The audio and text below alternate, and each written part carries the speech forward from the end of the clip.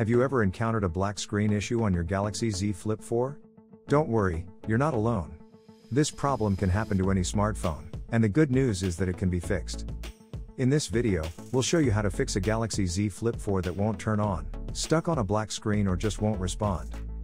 Before we dive into the solutions, please share and like this video to help other users who might be experiencing the same issue. First solution, forced restart. One of the common causes of the black screen of death is a firmware crash. When this happens, your phone won't respond, and all you can see is a black screen. The fastest way to fix this problem is by doing a forced restart. Here's how you can do it. Simultaneously press and hold the power key and volume down button on the right edge of your device for approximately 10 seconds. When the Samsung logo appears on the screen, release the keys.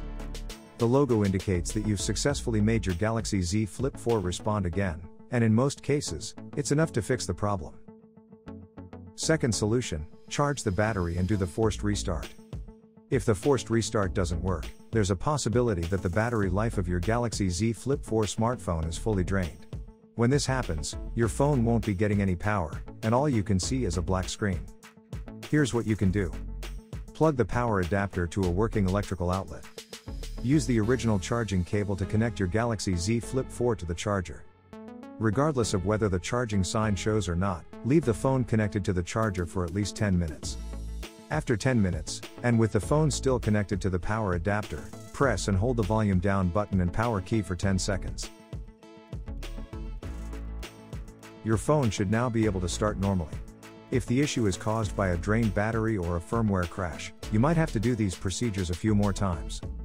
However, if your device refuses to respond even after a few tries, it's time to have the device checked as the problem might already be with the hardware. We hope this guide has been helpful to you. If you have any questions, please leave them in the comments below. Thanks for watching.